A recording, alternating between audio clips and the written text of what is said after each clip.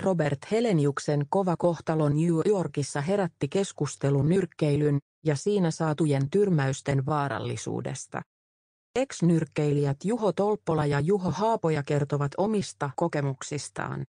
Ex-nyrkkeilijä Juho Tolppola menetti työkykynsä, aloin olla vaaraksi itselleni ja muille.